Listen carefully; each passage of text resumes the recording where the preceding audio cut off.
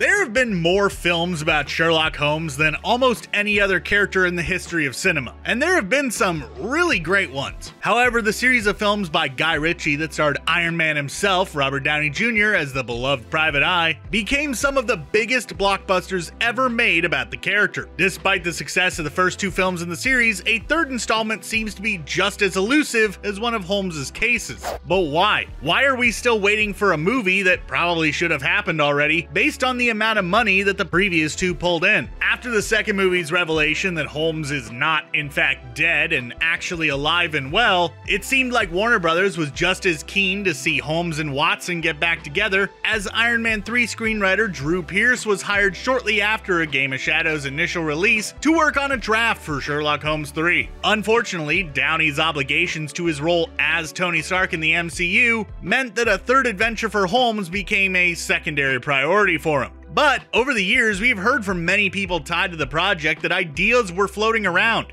and gears were turning. Warner Bros. even went so far as to set a 2020 release date for the movie at one point, which obviously didn't happen, in part due to COVID halting a lot of stuff, but that shows it was alive and well at one point. And as far as we know, it still is. So now all we can really do is just sit back and wait for now knowing full well that it is at least on the minds of many folks in Hollywood. Perhaps if you're watching this video in the future, it may have already been announced or even released. One can only hope.